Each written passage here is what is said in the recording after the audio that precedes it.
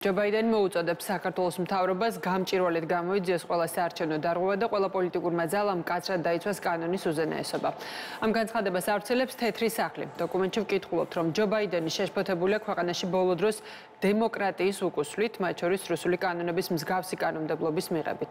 განცხადებაში ასევე აღნიშნულია, რომ საქართველოს 26 ოქტომბერს ჩატარებული საპარლამენტო არჩევნები ადმინისტრაციული რესურსების ბოროტად გამოყენების მრავალი ფაქტის, ასევე ამ მრჩეველთა დაშინებისა და იძულების გამო გამო დაზიანდა. ჯო ბაიდენი მიმართავს მთავრობას გააუქმოს ისეთი კანონები, როგორიცაა უცხოური გავლენის გამჭირვალობის შესახებ კანონი, რაც მისი თქმით ზღუდავს შეკრებისა და გამოხატვის თავისუფლებას. ის ასევე ითხოვს, რომ დაიწყოს ინკლუზიური დიალოგი საქართველოს ყველა პოლიტიკურ ძალასთან არჩევნების სანდოობის აღსადგენად. ჩვენ მოუწოდებთ ყველა მხარეს მკაცრად დაიცვას კანონის უზენაესობა და ფუნდამენტური თავისუფლებები, რომლებიც რჩება საქართველოს ევროატლანტიკური მომავლის საფუძვლად, ნათქვამია განცხადებაში. ჯო ბაიდენის განცხადებას ეხმაურებიან თბილისში. ხელისუფლების მხრიდან რაიმე ნაბიჯის გადადგმის იმის დასამტკიცებლად რომ არ ყოფილა გაყალბება მარჩევნებზე ჩვენ არ აგვაქვს ამის იმედი.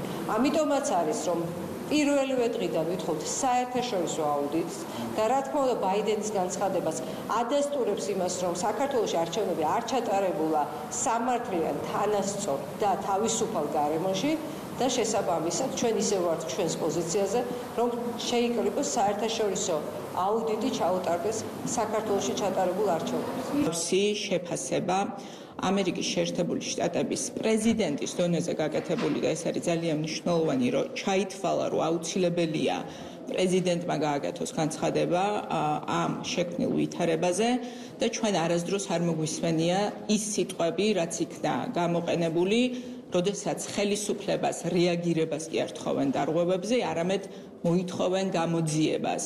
გამოძიება ტარდება იმ შემთხვევაში, როდესაც ჩადენილია დანაშაული და ამ შემთხვევაში ჩვენ მართლაც გვაქვს საქმე დანაშაულთან, რომ ჰელსინკის კომისიამ თქვა, რომ ბაიდენ-ჰარისის ადმინისტრაციის მხრიდან სამარცხვინოა, რომ ისინი ქართული ოცნების მიერ თავისუფლების მოყარე ქვეყნის ავტორიტარულ მიტაცებას ლეგიტიმაციას აძლევენ. ის რომ ლეგიტიმაცია მიცა ქართულ არჩევნებს აღმოჩნდა შემაშფოთებელი, შეურაცხყოფელი და ასეთი განცხადების საფუძველი ჰელსინკის კომისიის მხრიდან საკუთარი ქვეყნის ამერიკის შეერთებული შტატების პრეზიდენტისადმი. მაშინ როდესაც თავად ეს კომისია გუშინვე ამბობდა რომ ქართულმა სამოქალაქო საზოგადოებამ პოლიტიკოსებმა და დამკვირვებლებმა ნათელი მტკიცებულება.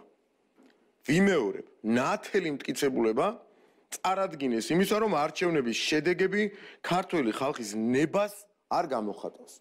ეს არის უმძიმესი ბრალდება.